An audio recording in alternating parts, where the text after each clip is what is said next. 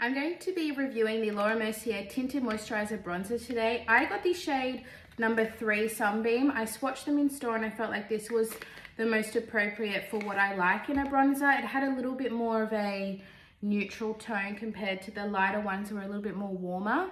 So we're gonna try this out today. Okay, so here are swatches of all of them. At the top, we have number one, Sunshine, two, Sundrop, three, Sunbeam, which is the one I purchased, four, Sunlight, five, Sunstone, and six, Sunspell. So there are six shades in total. And I'm hoping this has a really nice natural look. I'm going to be using my e.l.f. sponge.